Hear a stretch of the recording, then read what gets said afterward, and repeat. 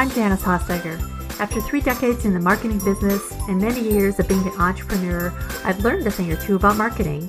Join me as we talk about marketing, small business, and life in between. Welcome to My Weekly Marketing.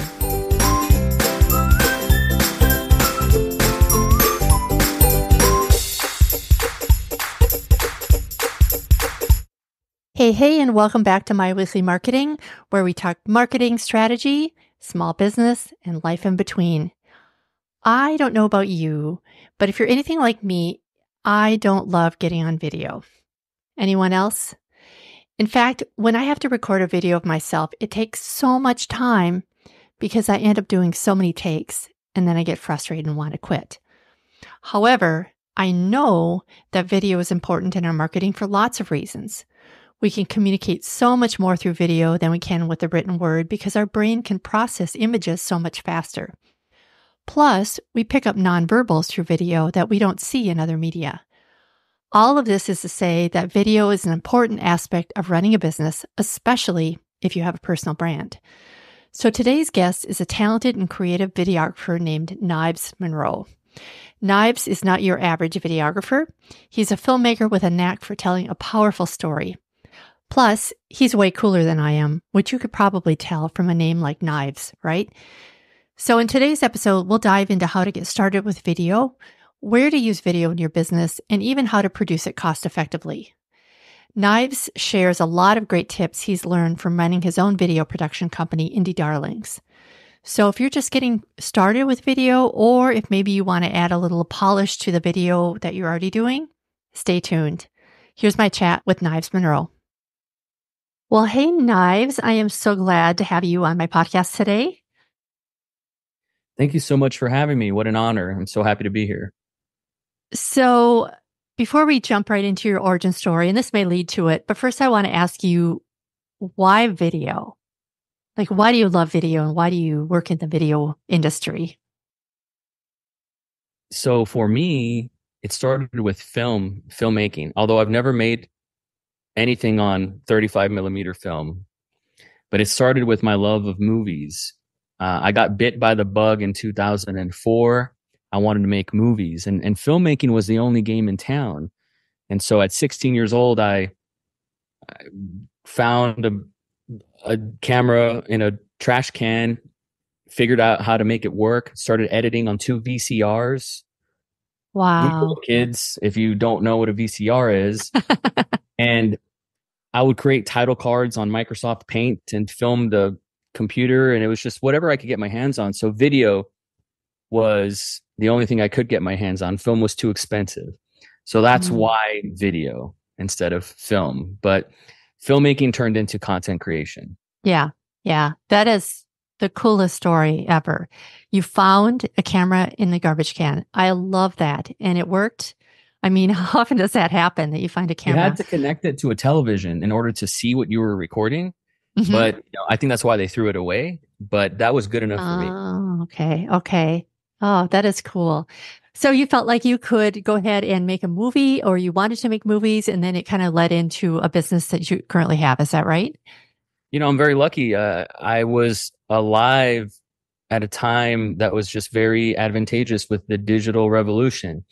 Um, in 2004, I was editing on videotape, but by 2005, YouTube existed, and I was editing on on digital. Um, so I started putting stories together, montages together, but I didn't start making money with video until maybe 2013, almost 10 years later, and start a business almost 10 years later. Um, but I, I did hone my craft in telling stories shooting and editing music videos for local talent, uh, transitioning into videography for weddings and quinceañeras and things of that nature. But it was just an excuse to to paint with pictures. It was just an excuse to to story tell. That is that is really cool. So now my listeners are are business owners. How can they use that storytelling um, activity to make videos for themselves? Like what stories should they be telling and how um how would they go about doing it? Is is it through like um well You answer that question. How, how would they go about starting out, like deciding what videos they should be making? Oh gosh. So first you have to really be self-aware and understand what business you're actually in. Are you in the restaurant industry? Are you in HVAC? You know, your listeners probably vary from industry to industry, vertical to vertical, but each and every single one of them, even plumbing services, need to tell their stories and tell videos. So I'll use the plumbing services as an example. Mm-hmm. I think off the top of my head, two types of videos come to mind. Number one, you're going to want to entertain as opposed to, I mean, you're going to want to educate as opposed to entertain. So educate people how they can fix a, a leak in their bathroom, make 10 videos about that. And so definitely come from an educational aspect, educational perspective, because people are going to be searching for this. And if they find you on the internet, they're going to trust you and they're, they're going to, they can convert to be a customer, which is really what this is about at the end of the day. Right. Uh, another video that you can make if you're in the plumbing industry is a client testimonial, right? So who mm-hmm. have you served that had a terrific experience? Obviously, if you're in any industry, the client eh, or customer experience is, is definitely important. So who's comfortable or charismatic enough or, or at least on the fringe for you to be able to enroll in a testimonial and turn that and flip that as a as a as proof so, social proof that your business is cooking mm-hmm. so those are two types of videos right there and that's for uh you know a plumbing company so hopefully mm-hmm. that illuminates the right parts of our brain for your listeners who are like, oh, I see, I see, I can actually apply that to my business as well, the testimonials and the educational aspect. But you have to be very self aware. And I will say that as a video production company, I've had to educate myself on the strategy component for small businesses. I used to just push the record button and make videos for video's sake, but that's just not good business. And mm-hmm. and honestly, um, I'm not going to be making a fortune doing that just because that's a that's a commodity. People can outsource, and we can talk about this later if you'd like, but people can outsource video editing overseas for pennies on the dollar. So I had to really invest in video strategy and understand what are the client's pain points and how do they make money and how can we make them make more money through video marketing. So the strategy came into play and that came later on in my career uh, very recently uh, post pandemic did i realize oh i have to be more than just a storyteller. I have to be a strategist. Oh i love that you said that.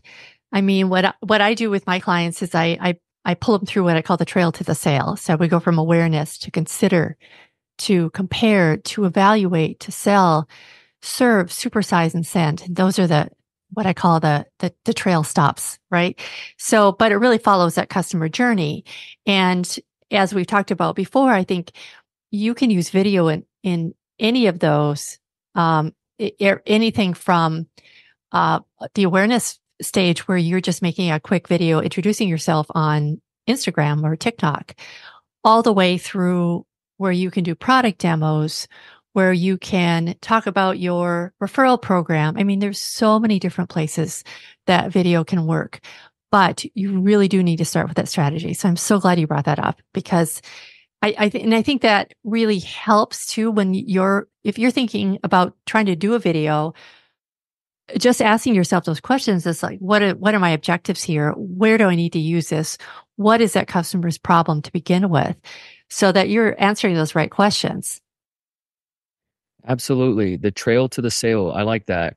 That's sort of like uh, what we call top of funnel, right? Getting right. people down the funnel and getting yes. people to convert and getting people to enroll and getting people to take action and to buy. Yeah. Absolutely. That's we're, we're not just making video for video's sake. There's there's a there's a method behind the madness for sure. There is. And the reason why I prefer the trail analogy, we're off on a little tangent here, is to a funnel is that you really have to move them along that funnel. It doesn't just, you don't fall into the fun, or I'm sorry, you have to move them along the trail. They don't fall into a funnel and just sort of happen to become a customer. You have to work at every step of the trail or every step of the way to move them to that next stage to nurture that that relationship and and turn a you know a googler into a customer. So um and i love that you also brought up storytelling because that is so so powerful even just introducing you yourself. And it becomes uh, you know a person become memorable through a video right? Absolutely. Yeah so i think there's so many different things that you touch on there that are that are golden. So how do you decide whether you should go long form, short form? Do you have a, a process that you work with clients on that helps them figure out exactly what they should be working on next?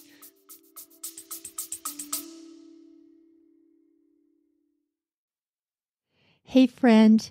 If you've been listening to this podcast for a bit, you know that I put my heart and soul into producing it each week so you can get the most value from it. So I'm completely honored and thrilled to have been nominated for the Women in Podcasting Award. But here's the thing I need your vote. Would you consider voting for me? Just go to myweeklymarketing.com forward slash vote and you can cast your vote there. I would be eternally grateful. Thank you so much from the bottom of my heart.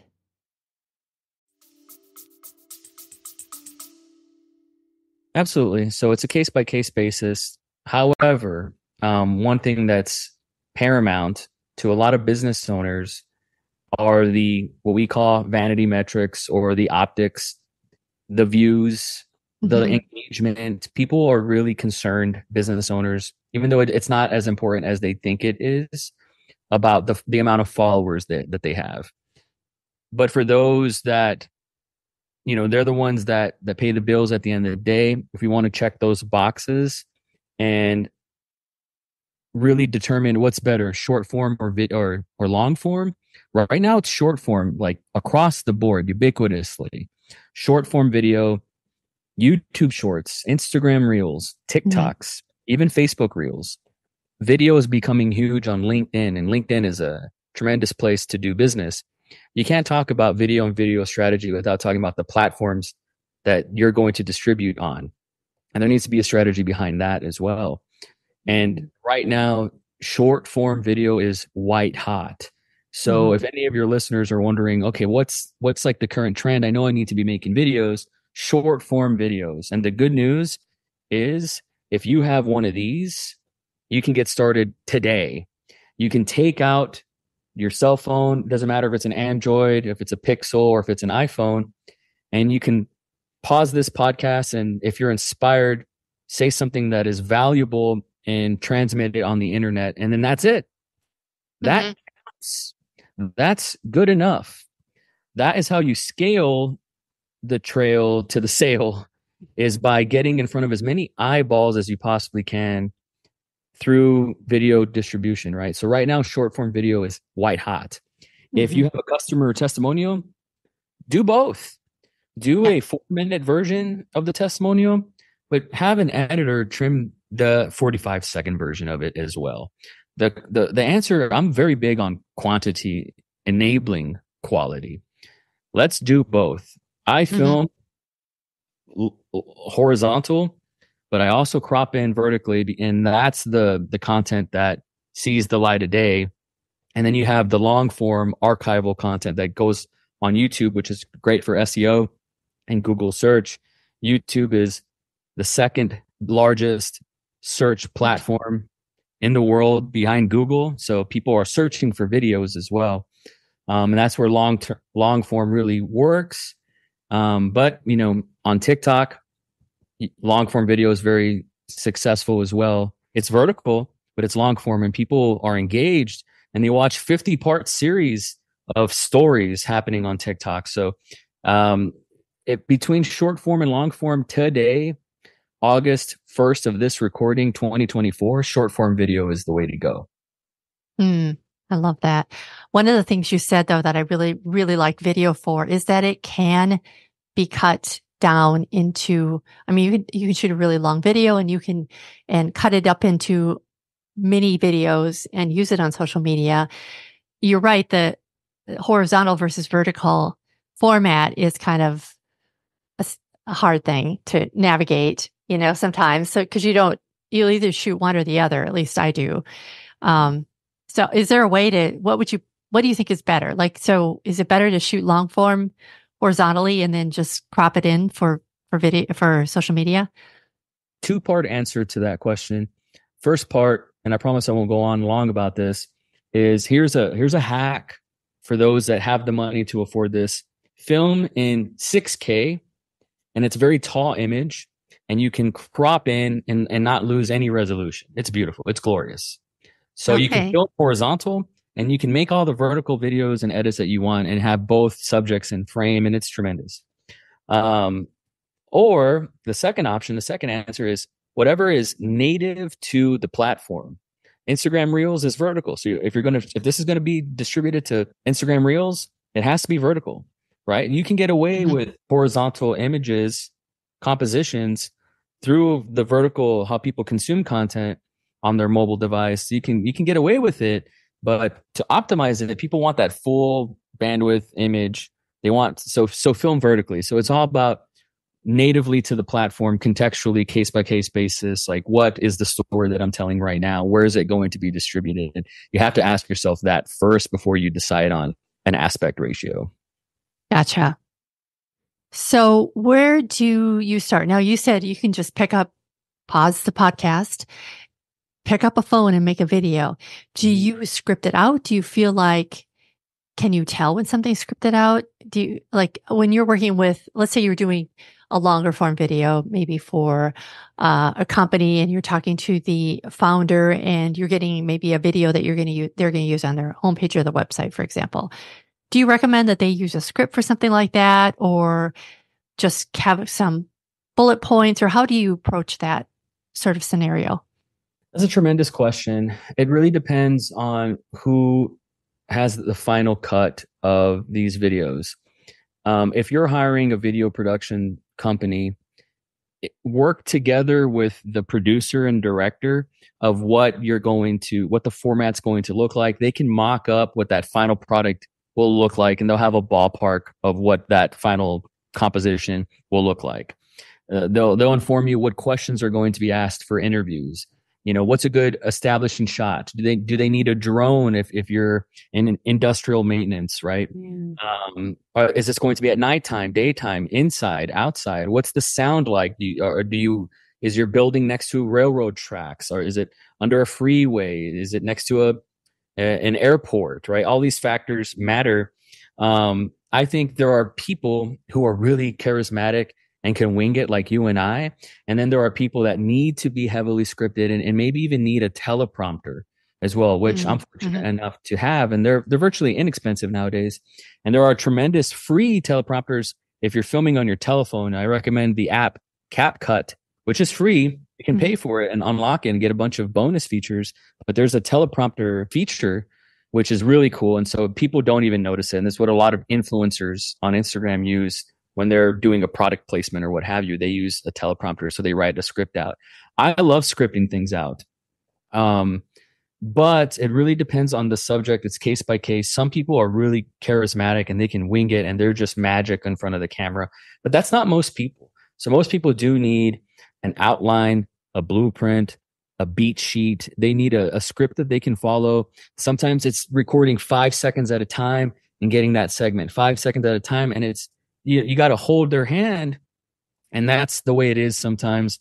But with clever editing, you mask that and make them look like a million dollars. So it, it's, it's a case by case basis. For my personal stuff, I do script things out. I, I, I used to be a wing it mm-hmm. kind of guy. But, you know, now the science of this art form has just advanced so much and it's so competitive. The first three seconds of your video really matters. And then the three seconds after mm-hmm. that really matters. So writing a clever hook, writing a clever, uh, which is another way of saying like a, an interesting first three seconds or opening, uh, really matters. So uh, every now and then I, if I'm in the shower, if I'm going for a walk, I get an idea for a hook, I write it down because I know that's the way I'll open a video.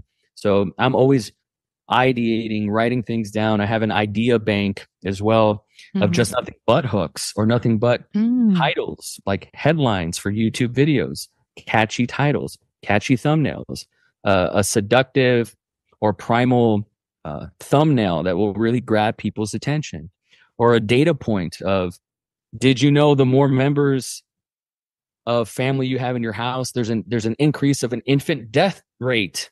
You know, how do I put that into four words and make that captivating? um, to sell more houses or to sell more space or real estate or what have you. So I'm constantly ideating and writing things down for myself personally. I do believe in and scripting, and I just to add as much value as I possibly can here. If you're wondering, um, you know, I'm too busy to be scripting.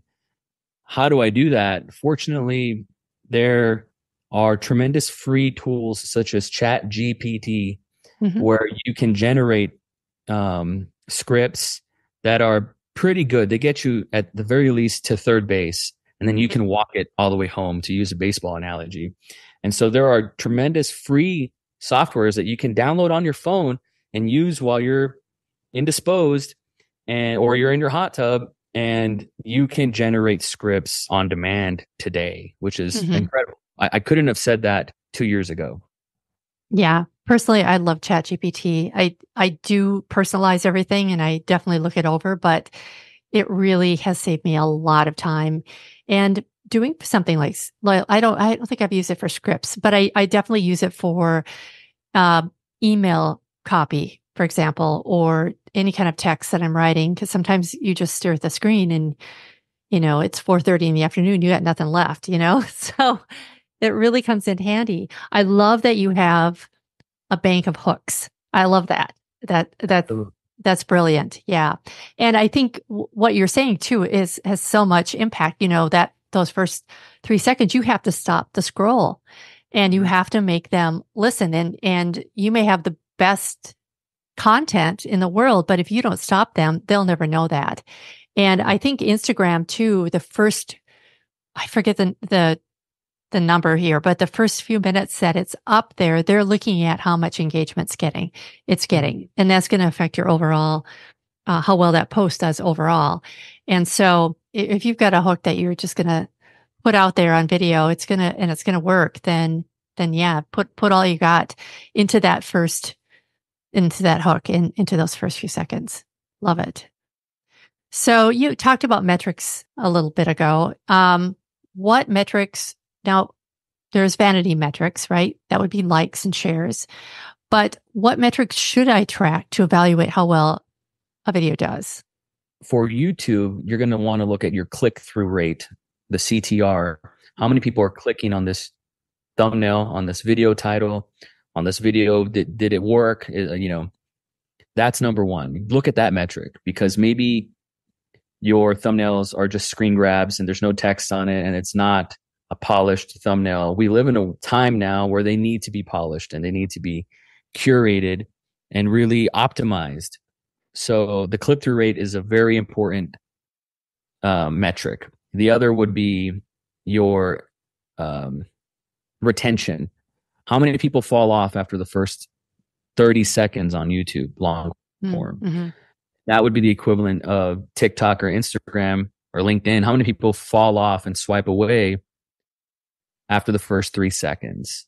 So the the retention matters. If you can get people staying to the end of your video, you're going to make a lot of money in this business. I love that. That's really interesting. Um, yeah, I, I would agree with that. And, and it really is surprising to me. Um, I, I used to work with somebody who was great on video. I mean, he would just go off the cuff and he made it interesting and, um, really engaging. But looking at where people dropped off was really sobering. I mean, it was, um, you could tell that maybe it wasn't titled correctly. Maybe it was an SEO issue that people found it in the first place. And maybe it was, um, maybe a little misleading in terms of the title. So those are all things to think about too, because you want to make sure, yes, you want your, um, the, the search engines to, uh, send you the right people, right? So that they're interested in it. But that really makes a big impact. I, I'm glad you brought that up. For a YouTube long form video, if you're promising something in the title you need to deliver on that promise in the first second. Mm. But simultaneously open a curiosity gap that will make people stay later towards the middle half of your video and towards the end of your video. So you, you can't say, um, I spent a hundred dollars on a milkshake and then start the video and we're not talking about the milkshake. Mm-hmm. You Mm-hmm. need to show me drink you're drinking that uh, show me the receipt and show me the transaction and you're drinking that milkshake within the first minute and uh, within the first second and then we you can tell me how you how we got there and where we're going um, but i think there's a lot of just those little simple tweaks can really make the difference between a hundred views or tens of thousands of views Yeah, in fact, I just talked about this in my newsletter this week. It was it was just uh, making sure that that headline really keeps people going too. So instead of saying, um, "Here's why your dog should not eat grapes," um, a better headline maybe here's the food that you're, the one food that your dog should never eat, or something like that. You know, so it so you talked about that curiosity gap. Um, that's really starts right away when you're thinking about the video and how you're planning it out, right? Because you said you got to get to it absolutely right away, and then but you want to leave the the punchline to the end because if you tell them it's grapes, you know, halfway through, they've got nothing to stick around for unless you introduce another hook in there. So I love that advice. Very, very strong. Um, so let's say I am shooting my own videos. Do you have some tools? Now you mentioned CapCut. Is that your favorite editing tool? I, it's it's kind of it's kind of limited, right? Or can you do quite a bit on it? I've used a little cannot- bit. I cannot believe what you're able to do on this app that's essentially for free if you live in the States. I Okay. cannot believe what they give away for free. I mean, it's it's robust. Okay. Also, Notion is a where I do my project management system. So everything, my second brain lives on Notion, also free. CapCut, also free. ChatGPT, also free. Um, these are incredible tools. Uh, I would also like to highlight Spark Camera, which is really underrated. It's it's this bottom one right here with the red circle Mhm. why I think it's tremendous is because you can stitch recording in the app and then export it and then put watermark free. It's free, by the way.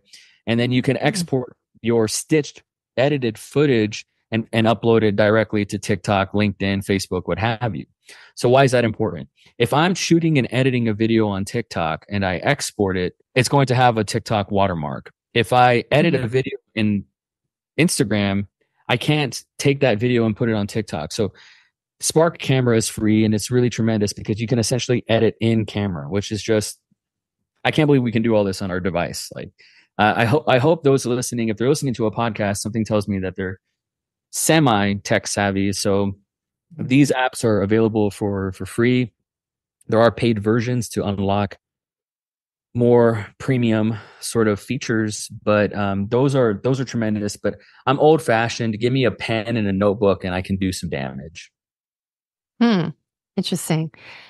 So you don't feel like it's necessary to maybe get Adobe, what is Adobe's Premiere Pro or anything like that? That because those can be very complicated. Adobe can get really complex pretty fast. So I was just curious whether or not um, you feel like, because honestly, I do a lot of video editing with uh, iMovie, iMovie's which is tremendous.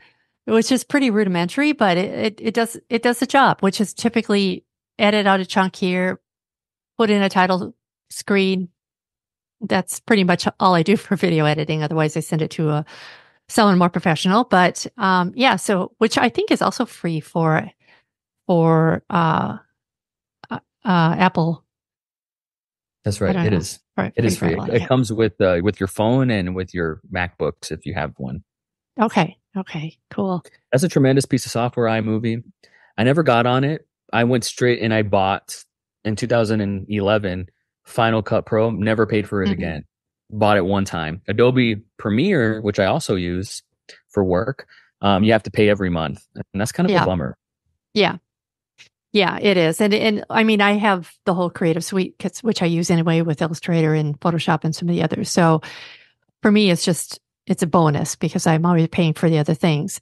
But what you're, I love what you said that it's not necessary. You can do a, an adequate job of, of editing without spending a lot of money on yes, the software. I, I want to highlight here, and I wanted to start with this actually, is we live in an age where authenticity really matters. And so the less polished, the better for these up and coming buyers, depending on your business. Gen Zs, my, my son's 18 years old. He's out in the marketplace, he's buying stuff. And he's more likely to respond to someone on their phone putting their makeup on or putting down the barbells and talking to the camera and just being themselves than he is the highly polished, super produ- uh, produced video that just looks like it's selling something to you right out the gate. It's not even trying to be human with you. Mm-hmm. Um, or authentic, mm-hmm. the better. And so something yeah. like a CapCut with your phone out the gate. There's auto captions. You don't even have to, you don't even have I used to write captions mm-hmm. by hand just a few years ago and now it's it's automated. Um, platforms and and tech like this just really turns us into superheroes, I feel there's more computational power in the phone than there was that took us to the moon in the 60s. So I know it's crazy, it's, right? It's just, it's just nuts what we have. And with great power comes great responsibility. So, yes, I'm always trying to find um, the the most cutting edge technology that saves me time, gives me my time back, and uh, just makes my products even better, my finished products. Mm. So, do you feel like it's necessary, like, to add music, which you can do in Instagram? This um, is all matter of taste. It's not binary. Yeah. It's not music makes it better. That's objective. It's subjective. To mm-hmm. answer that question, I did not mean to cut you off, but no, no. These little differences um, are just aesthetics. They're not going to transform your business overnight if you use music or not. I'm not trying to be glib. It's just some people really hang on these minute details and mm-hmm. truthfully, you know, post three to 10 times a day. And then tomorrow, not everyone that is going to see that content that you uploaded the next day. So you have to up, up for the next crop of people. And it's, it's, it's just about consistency and volume and value. If you think of a Venn diagram between consistency, volume, and value. And if you can just master that, I mean, you can grow any business with that. Mm-hmm. I will add one more Venn or circle to that Venn diagram though, and that would be emotion. Um, I, I just know that on social media, speaking strictly about social media, that adding some emotional appeal, the, the, the people that seem to do viral videos have either humor or it just hits you in a certain way. And that's kind of why I asked about music too, because that really has an emotional element to it. And people buy an emotion too. So, um, mm. so I probably put another circle in that, but you're absolutely right about those three, because if you're not consistent, if you're not, um, you, you know, doing all the other things correctly, that just having emotion isn't going to move the needle for you. It's got to be everything kind of working together. I love that. So, um, where can people find out more about you? They can find me at knivesmonroe.com. Um, I have a a little freebie I'd like to promote. It's called the mm-hmm. Content Effort Scale. It's a free downloadable PDF, and it's my framework for producing and maximizing and optimizing content. So, if I may, um, this podcast is perfect for the content effort scale. What we're going to be able to do is it's essentially a checklist. We have a podcast. That's great. Mm-hmm. Uh, can we make a short form video out of it? Yes, mm-hmm. we can. Can we make a, a, tw- a tweet or a thread from the copy? Absolutely. Can we create a LinkedIn art from the copy, from the transcription? Absolutely. Can we make a blog or an email newsletter out of the podcast? Absolutely. Um, there needs to be a an Instagram story, uh, a pre call to action, a post call to action. Can we create a thumbnail from this podcast as well? uh, the description copy that goes for SEO on YouTube. Well, you know, can we take that from the transcription? So it's really about how do we take one piece of content and transform it into 30 just from one and really maximizing the effort of one piece of content. So that's the content effort scale. It's simply a downloadable PDF checklist and it's a way to hold yourself accountable of creating and maximizing your effort uh, when it comes to creating content. And it's a it's a it's a simple framework and roadmap for those that don't know what to make. Make a pillar piece of content content like a podcast or a newsletter, which you, you have both, and uh, and really chop those up and distribute them um, and post them across multiple platforms. And it really just came from one. Mm. So maximize your effort. That's what I would say. And you can find me on knivesmonroe.com. Oh, I love that. I because I do I don't do enough of that. I mean, I know for sure that it's so easy to jump into a production mindset that you're not utilizing the effort that you already put into something and you can certainly reuse it in, in different in different ways. So yes, I love that. Is there um yes, I'll put a note to that. I'll, I'll put a link to that in my show notes. So Oh, anyway, oh, thank, thank you. you. so much, Knives. I appreciate you taking the time to be with us this evening, and I look forward to getting my download. So, what'd you think? Some good tips, right?